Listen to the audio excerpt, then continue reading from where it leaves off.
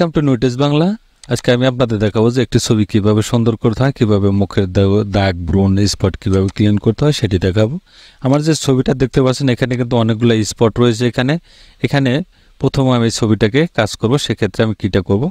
সেটা হলো, প্রথমে একটি ডুপ্লিকেট লেয়ার করে নেব কন্ট্রোল জে লেয়ার করে নিলাম। লেয়ার করে এই ছবির উপরে আমি কিছু কাজ করব। সেক্ষেত্রে আমি চলে যাব হেলিং টুল ব্রাশে ব্রাশে গিয়ে এখানে কিছু স্পট আমি এখান থেকে নর্মালি রিমুভ করে দেব। রিমুভ করে দিয়ে যে ফিল কালার দেখতে পাচ্ছেন, এই ফিল কালার ক্লিক করে এখানে আমি কিছু ওকে করে দিচ্ছি।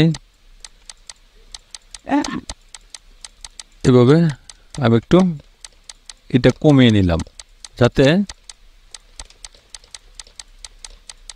আমার কাজের ক্ষেত্রে একটু সুবিধা হয়, সেজন্য আমি একটু কমিয়ে নিচ্ছি স্পটগুলা তারপর আমি অন্য পন্থা অবলম্বন করে ছবিটাকে আরও সুন্দর করে নেব।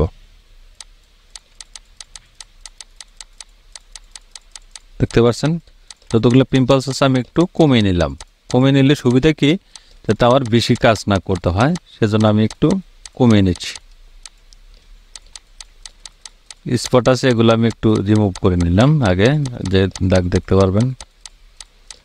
এখন ছবিটাকে কীভাবে সুন্দর করবেন ন্যাচারালভাবে সেটি দেখাবো। আমি এটাকে আরেকটি লেয়ার করে নিচ্ছি। কন্ট্রোল জে এখন ছবিটাকে আমি ইনভার্ট করব। ইনভার্ট করার জন্য কন্ট্রোল আই বাটন প্রেস করে দিচ্ছি। প্রেস করে দিয়ে এখন যাব আমি।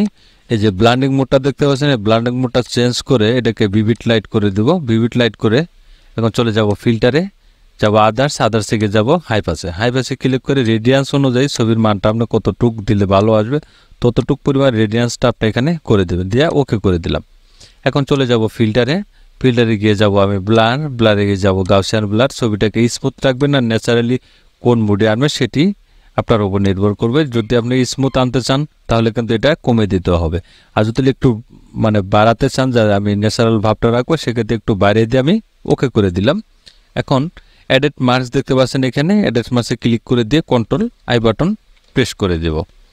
অবশ্যই ব্রাশ টুল দিয়ে যদি কাজ করেন সেক্ষেত্রে ব্যাকগ্রাউন্ড এবং ফোরগ্রাউন্ড কালারটা ঠিক রাখতে হবে। যদি ব্রাশ টুলের মাধ্যমে কাজ করেন, সেক্ষেত্রে আপনাকে ব্যাকগ্রাউন্ড কালারটা ব্ল্যাক এবং ফোরগ্রাউন্ড কালারটা আপনার হোয়াইট রাখতে হবে। যদি দেখলেন যে দুটি কালার ঠিক নেই, তাহলে ডি বাটন প্রেস করে দিলে কিন্তু কালারটা সেটিংটা হয়ে যাবে। এখন যদি আপনি এখানে ঘষেন, তাহলে দেখবেন যে ছবিটা কিন্তু অনেকটা ন্যাচারাল ভাব চলে আসবে এবং কি ছবিটা কিন্তু স্মুথ হয়ে যাবে। দেখতে পাচ্ছেন আমি একটু ছবিটা একটু ঘষছি আপনি ফেসটাকে ক্লিয়ার করে নেবেন ন্যাচারাল রাখার জন্য। এরকম ভাবে আপনি ঘষে দেবেন ছবিটাকে, যতটুকু আপনার পিম্পালস ছিল বা মুখের ফেসটা যতটুকু ক্লিয়ার করা দরকার, ততটুকু পরিমাণ আপনি এভাবে ঘষে ক্লিয়ার করে দিবেন, যাতে বাইরের কোনো স্পটটা এখানে না চলে আসে। আমি দেখাচ্ছি আপনাদের।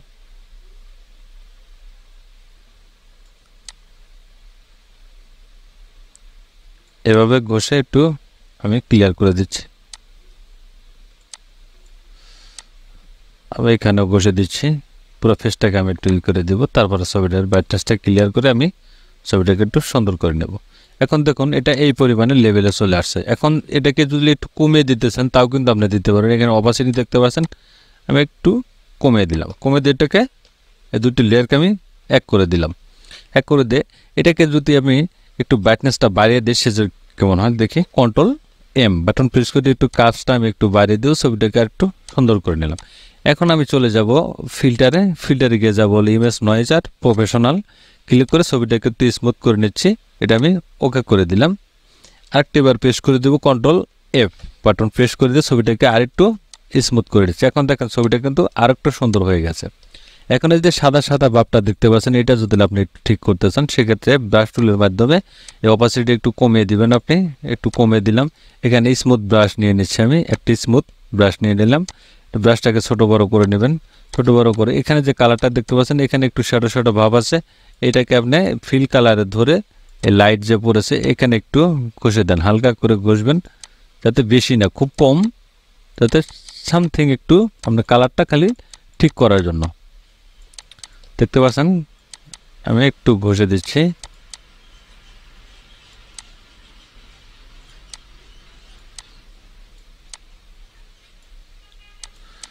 এখন দেখুন, ছবিটা কতটা সুন্দর হয়ে গেছে। এখন যদি আমি আগের ছবিটা দেখাই, দেখুন, এটা হলো আমার আগের ছবি, আর এটা যে আমি কাজ করি, সেটা হলো এই ছবি। তাহলে দেখলেন যে একটি ছবিকে কীভাবে সুন্দর করতে হয়, কীভাবে সুন্দর রূপান্তরিত করতে হয় সে দেখালাম। এখন যদি আপনি ব্যাকগ্রাউন্ডটা চেঞ্জ করতে চান, তাহলে কিন্তু আপনি চেঞ্জটা এখানে করতে পারবেন।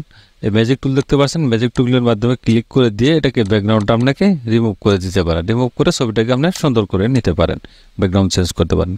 তো থ্যাংক ইউ গাইজ ভালো থাকবেন সবাই। ভিডিও যদি ভালো লাগে, অবশ্যই লাইক কমেন্ট শেয়ার করে দিবেন।